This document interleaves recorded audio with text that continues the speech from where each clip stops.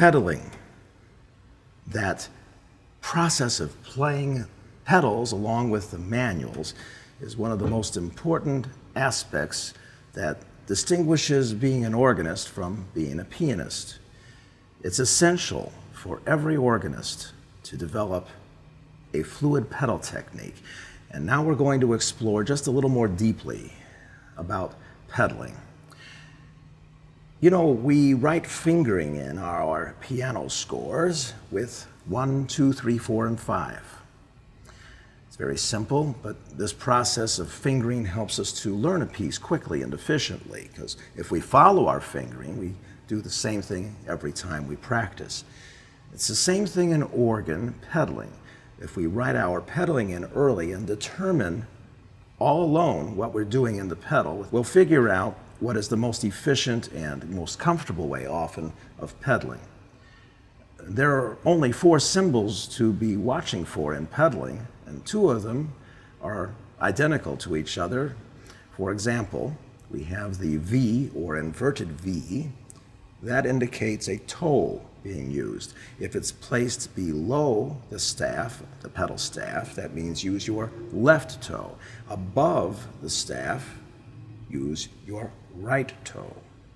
Now, heels are written with an inverted U or a U shape or a closed circle. And again, placed below the pedal staff, it means your left heel and above the pedal staff, your right heel different symbols that you can easily write into your score to help you determine your pedaling early on when you learn a new piece. It's important that we look at our feet, toes and heels as a unit and try to share as equitably as possible the, the function of pedaling.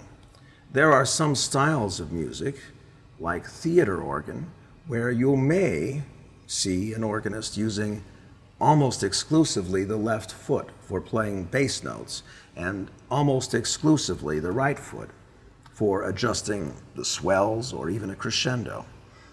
But in classical and church style organ music, the norm is to use both feet, toes and heels, as a unit and to consider them as sharing equally in all of the playing. There are various methods for pedal technique. One is written by Harold Gleason, who taught during the mid 20th century at the Eastman School of Music in Rochester, New York. Another method, also American, is by Edward Shippen Barnes. And yet, a more recent one is by Don Cook, who happens to serve right now as our counselor for education at the American Guild of Organists.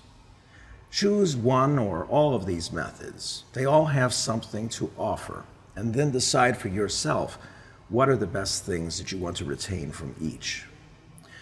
When starting to play the pedals, just like someone who's learning the bicycle and who would like to have some training wheels to keep them from falling over, I, I tend to consider as training wheels as an organ pedalist uh, the effort of keeping your knees and ankles together because this helps you to think of your feet together as a unit.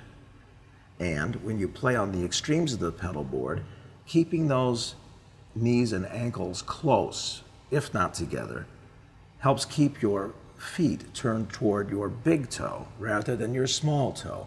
And this will help your posture as you play on the pedal board.